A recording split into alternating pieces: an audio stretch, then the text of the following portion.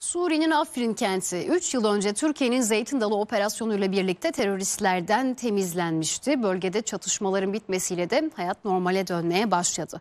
Haber Global muhabiri Mücahit Yolcu ve kameraman Remzi Burulday'ın izlenimleriyle bölgedeki son durum nedir? O gelecek şimdi ekranlarınıza. En kapsamlı sınır ötesi harekatıydı. Afrin terörden temizlendi. Zeytin Dalı harekatıyla bölgeye huzur ve güven geldi. Buradaki durumlar çok sakin çok şükür. 20 Ocak 2018'de Türk Silahlı Kuvvetleri düğmeye bastı. Suriye Afrin'e yönelik sınır ötesi harekat başlattı. Harekata Zeytin Dalı adı verildi. Hedefte Türkiye'nin sınırında oluşturulmaya çalışılan terör koridoru vardı.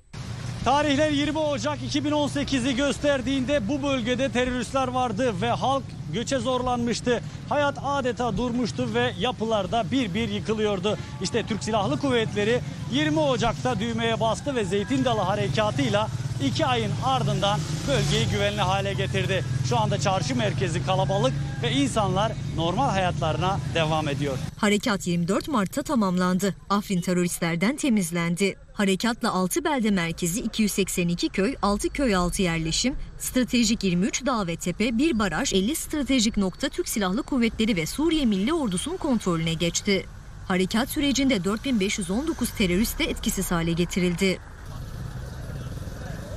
Siviller de Zeytin Dalı Harekatı sonrası güven sağlanan Afrin'e döndü. Durum çok iyi. Ee, evvel kahraba elektrik yoktu. Şimdi o da oldu. Yollar oldu. Çok şükür Türkiye'ye Suriye'deki iç karışıklık öncesi stratejik konumdaki Afrin'in nüfusu 300 bin dolaylarındaydı. Ancak ilçe teröristler tarafından işgal edilince insanlar da göç etmeye başladı ve nüfus 30 bine kadar geriledi. Zeytin Dalı harekatıyla birlikte güvenli hale getirilen bölgeye dönüşler de yeniden başladı ve İdlib'den gelenlerle birlikte şu andaki nüfus 580 bine kadar çıkmış durumda.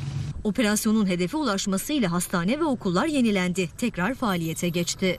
İlçede birçok alanda çalışmalar yapılıyor ancak savaştan kalan izler de halen ayakta duruyor ve bölgenin yeniden ayaklanması için de yerel meclisler tarafından bu bölgedeki yatırımlara ağırlık verilmiş durumda.